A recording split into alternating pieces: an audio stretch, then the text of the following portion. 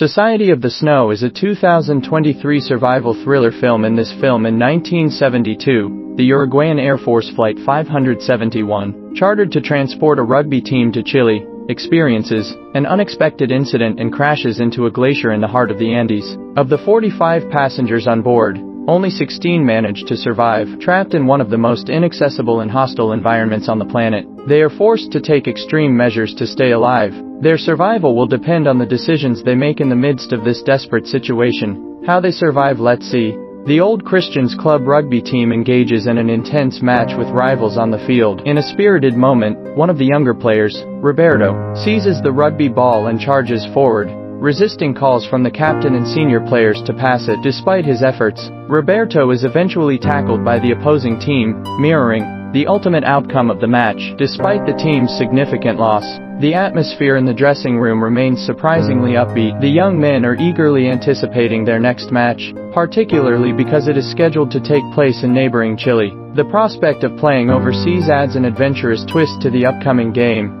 creating genuine excitement among the friends. After thorough discussions among friends, the decision to travel to Santiago is solidified, and the day of the flight swiftly arrives. The plane departs from Uruguay with a total of 40 passengers, including 19 players from the Old Christians Club rugby team, along with five crew members. The journey proceeds smoothly until the midway point when passengers, in high spirits, capture moments with photographs, creating a joyful atmosphere among the youngsters. However, the mood takes a drastic turn as the plane approaches the Andes mountain range. Stormy winds and snow lead to significant turbulence, altering the course of the flight. To avoid the towering mountains, the pilots decide to divert through a relatively open pass between two peaks.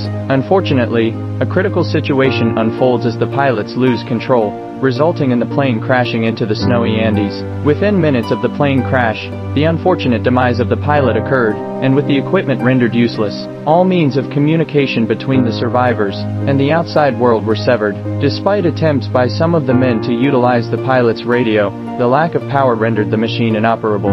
The impact had caused the plane to break into two pieces upon landing on the thick, snow-covered mountains, with the tail separated and catapulted away. From the very first night of their harrowing ordeal, the survivors recognized the need to huddle with the deceased bodies to shield themselves from the biting cold. The conditions were unforgiving, with temperatures plummeting within minutes after sunset, making it impossible to endure the elements without protective shelter. The broken half of the airplane served as their refuge, and in the initial days, the survivors clung to hope, Anticipating rescue, the disappearance of Uruguayan Air Force Flight 571 had made headlines, prompting authorities to initiate search efforts. Although the survivors heard planes flying overhead, the crash site's location, combined with heavy snow covering the terrain, made them nearly impossible to trace from above. The challenging angle of the crash site further complicated efforts to spot the survivors or the wreckage. Despite the rescue planes diligently scouring the area, the survivors remained elusive in the vast snowy landscape.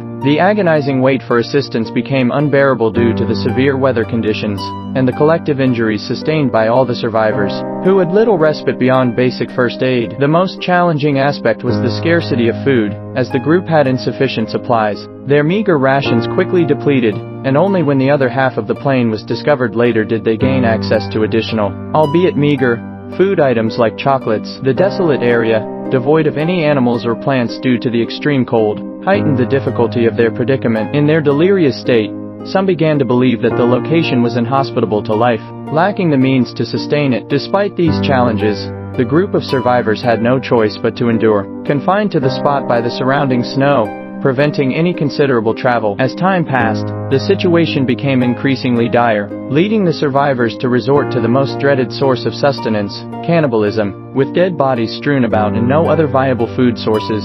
The survivors, after attempting to consume inedible items like seat foam and leather, faced the grim reality of consuming the flesh of their deceased friends and co-passengers.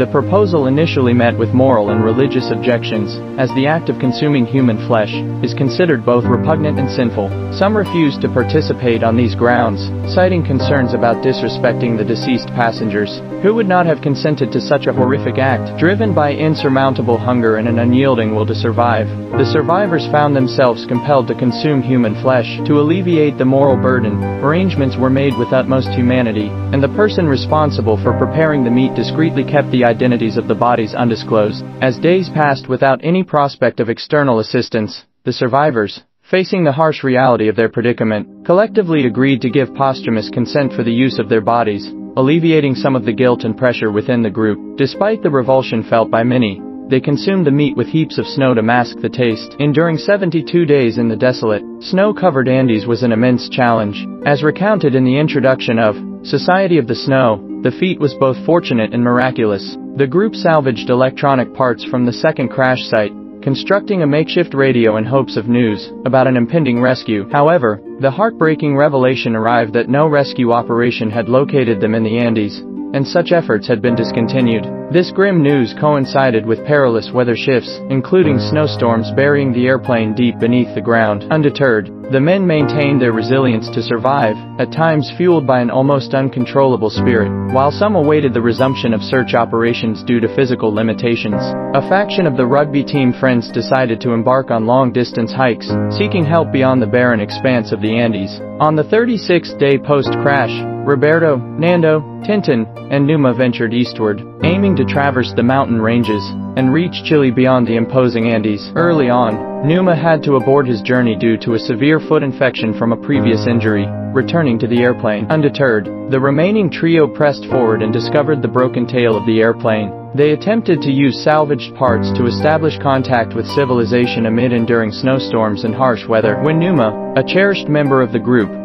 succumbed to his circumstances, the others decided to embark on the eastward journey once more. With winter behind them and the sun growing brighter, Roberto, Nando, and Tintin encountered improved weather conditions. Despite facing strong winds and snow on the Argentinian side of the Andes, their proximity to the border between Argentina and Chile made expedition east a plausible plan. The group, walking miles through the mountain range, reached the highest point, revealing an open valley below, a promising path to Chilean human settlement. To conserve food rations, Tintin returned to the crash site, while Roberto and Nando persisted in their original mission to seek help for the survivors.